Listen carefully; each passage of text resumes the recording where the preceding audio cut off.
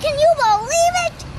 At first I thought it was a bluegill. Uh, so now what? Looks like three quarters of a pound. Yeah, Zero seven five. very good. That's a nice bass, isn't it? This is a good bass. Let's see it.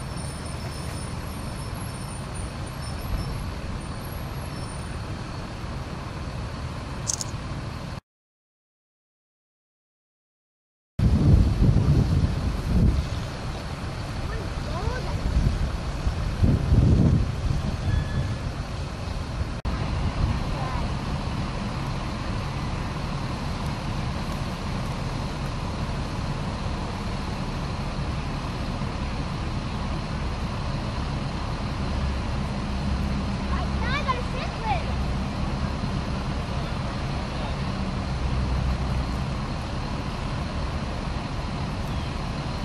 He's a, he's a biggin.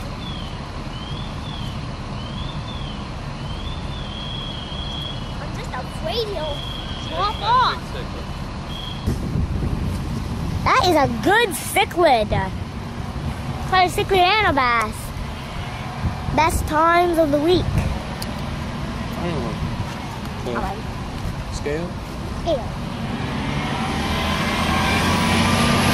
Come on, like you do. This, this guy's really fine one, man. It's super healthy. This guy is super healthy.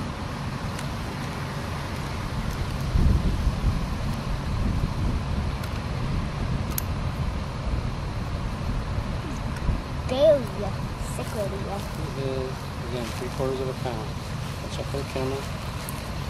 Three quarters of a pound.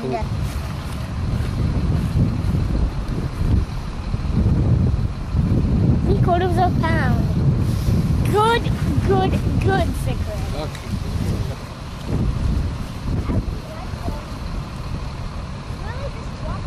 Yep, drop him off the hook. Take the hook and flip it right up. No.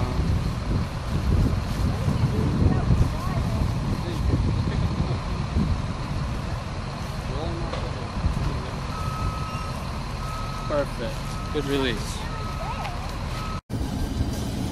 We caught a cichlid and a bass, and uh, Daddy caught a little bluegill. I caught a little bluegill too. It was a fun day. We just saw a toad back there. Not a toad bass, but an actual toad.